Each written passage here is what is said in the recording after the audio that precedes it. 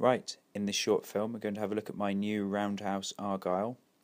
The Argyll was produced from 1993 until 2004 and uh, later on the decade a uh, later model was brought out called the Atlantic from 2009 to 2012.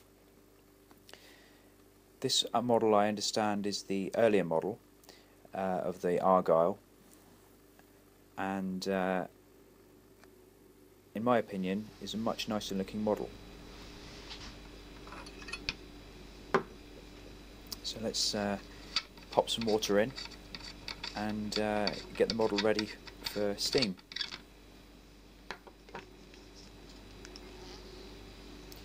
When the boiler is full, I uh, take out a measure of 30 milliliters to allow for expansion. Obviously this uh, allows for a, a, a head of steam to be produced.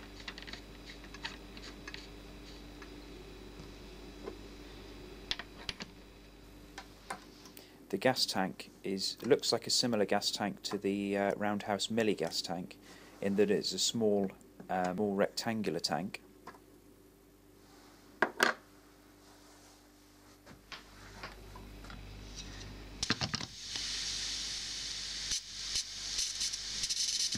There we are, nice and full. We'll just uh, drain the displacement lubricator this is the first time that we've had a look in here, so it'll be interesting to see what uh, what's been used. Looks slightly thicker than the um, standard 220 steam oil. Let's get her lit.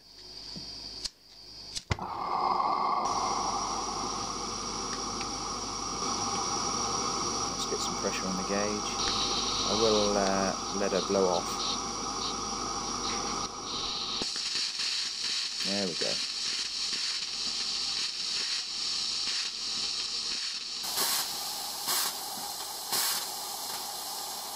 Right, let's see if she turns a wheel. A little bit of condensate to be expected.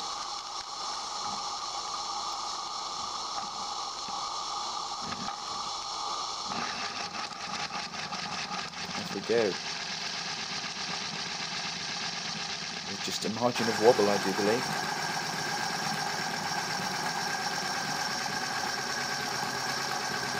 She runs quite nicely.